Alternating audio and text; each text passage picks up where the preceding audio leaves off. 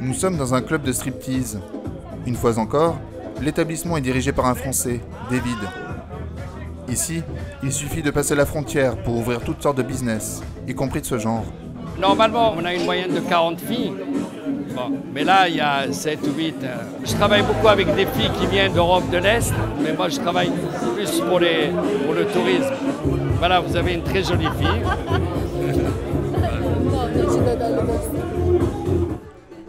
Avantage d'être de l'autre côté de la frontière, ici, le fonctionnement des bars à striptease est moins contrôlé qu'en France. Les filles ne sont pas rémunérées par le club. Elles toucheraient de l'argent uniquement de pourboire et de danses privées qu'elles font payer aux clients derrière ce rideau. Une danse, c'est 30 dollars. Ça dure une chanson, c'est 3-4 minutes. Voilà. Une fille, elle peut rester 10 danses, 15 danses, 3 danses, ça dépend.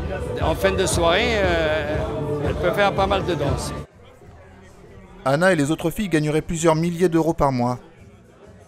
La demande est forte. Elle vient de touristes et de clients français, souvent des habitués décomplexés.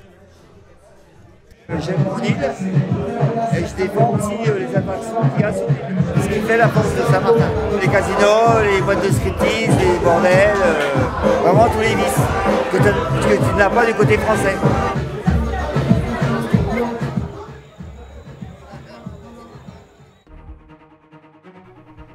Dans les Caraïbes, à 250 km de la Guadeloupe, Saint-Martin. Une île de 90 km, coupée en deux depuis le XVIIe siècle. Au nord, un territoire français de 35 000 habitants. Au sud, une zone autonome de 45 000 personnes, sous la dépendance des Pays-Bas. Depuis 2007, la partie française de Saint-Martin est devenue une collectivité d'outre-mer indépendante, avec son propre tribunal et préfecture, et ne dépend plus de la Guadeloupe. Avec ses 37 plages de sable blanc, ses kilomètres de côte à perte de vue et ses paysages de rêve, l'île avait tout d'un petit coin de paradis. On l'a surnommée la perle cachée des Caraïbes. Le côté hollandais vit du tourisme. Chaque année, 2 millions et demi de vacanciers viennent ici profiter de ses plages et de sa réputation très festive. Sur 35 km, des dizaines de bars, restaurants, casinos, mais aussi clubs de striptease et maisons closes font de cette partie de l'île un mini Las Vegas. Mais le 6 septembre 2017, Irma, le plus puissant des ouragans jamais vus, frappe Saint-Martin. Des rafales de vent de plus de 370 km/h balaient tout sur leur passage.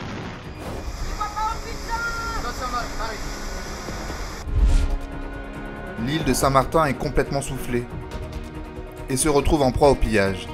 Y'a rien là-dedans, c'est vide, c'est ma maison. Descendez, descendez. Ces scènes révèlent une pauvreté et une violence présente avant le cyclone. Cette île qui tantôt était administrée, tantôt était laissée à l'abandon, révèle ses failles. Irma a renforcé un contraste choquant qui existait déjà entre les deux parties de l'île.